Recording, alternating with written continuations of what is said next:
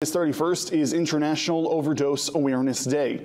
Now, to commemorate the occasion, local organizations collaborated to host a rally at Pierce Park today to mourn the lives lost due to substance abuse and call to action.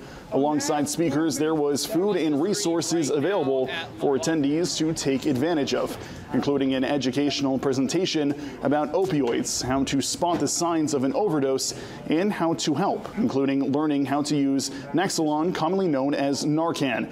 Now, organizers and attendees alike called upon legislators to approve the construction of overdose prevention centers stocked with sterile supplies and ready available resources. Now, these centers would serve as a safe place to use drugs and connect those struggling with the care and community that they need. Now, if built in Bangor, they say the prevention centers would serve as a win-win for the entire city.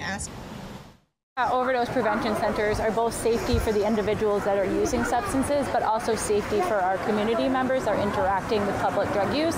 Overdose prevention centers have existed all across the world for decades, and these centers are proven to not only save lives, but also to reduce public drug use and public syringe waste in our communities.